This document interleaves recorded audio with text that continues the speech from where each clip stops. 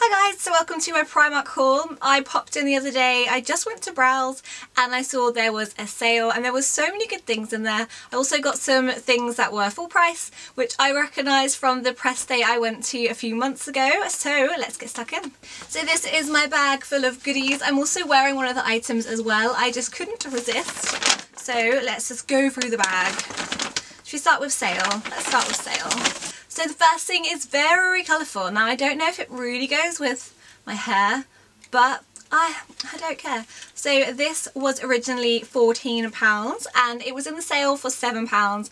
I got lots of these jumpers, well there's three, in several sizes bigger just because I want to wear them kind of as dresses. I thought they'd look really nice. Really nice oversized, long, with black leggings and black boots with heels so it makes your legs look really, really long and like a coat as well obviously because it's cold.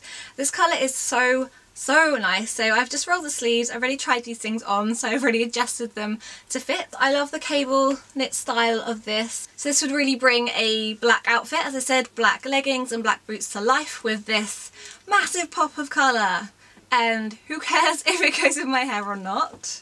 The next jumper is really really soft a really nice lilac colour. And I think this was yep another 14 pound jumper reduced to seven. I need to cut these bits off. I always forget them and then they're just really annoying. So it's kind of this nice bubbly texture. I've got this in grey as well which I oversize and wear that as like a dress. So yes again roll the sleeves. And they're really nice to wear indoors. Like I've been wearing this one all day today. So this one is similar to the others. I think it kind of reminds me I was saying to my mum it's kind of like a kind of cricketer or football style jumper. It looks like a sporty style jumper so I have a roll the sleeves. It's really nice, nice and roomy and oversized and I love the navy stripes all along it and the back of this one I think is a bit longer and it's got some slight slits at the sides so I always just kind of bring it forward a bit more so it covers the crotch area and actually I think I have the label in this one still. I'm always known for Yep, walking around the house with labels on. And this was £16 reduced to £7. This was £5 reduced from £10 and it's a very summery item so it's odd that it was in the sale unless it was, do they have a holiday section? Maybe it was in that. But I really love the look. It's kind of like crocheted knitted style. Again I need to cut these. These things are annoying. I guess they're good for keeping things hung up but wearing that you just really couldn't. I love the tassely bits at the bottom. This will obviously be great when it becomes warmer. This will be great for holiday season um, over a bikini or you know those really cool bralettes with the bits that like go across like a nice structured bralette. Structured bralettes probably not what I wanted to say. And the other items are all full price. These are all from my local Norwich store as well. So people complain Norwich doesn't have good things, but we do.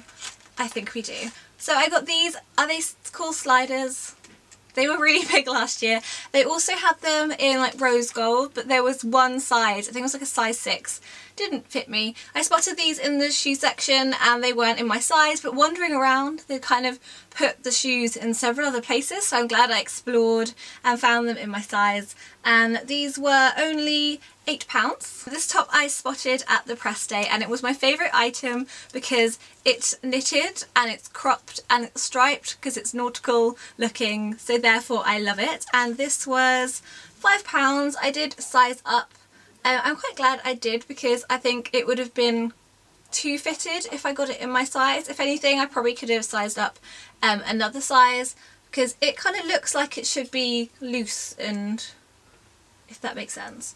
But I thought this was just so, so pretty. This is very me and yes, this was my favourite thing out of the whole collection and I have it. This top was also £5 and I think it looks nicer on the hanger than it does on. I just don't know about the fit of this.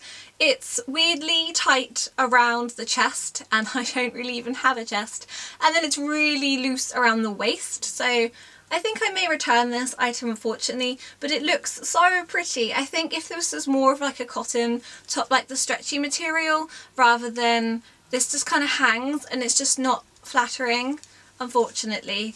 Um, but it looks nice. And it was also in black and other colours, but I just don't think it it's very flattering on me. I did also get something else, which were in front of me.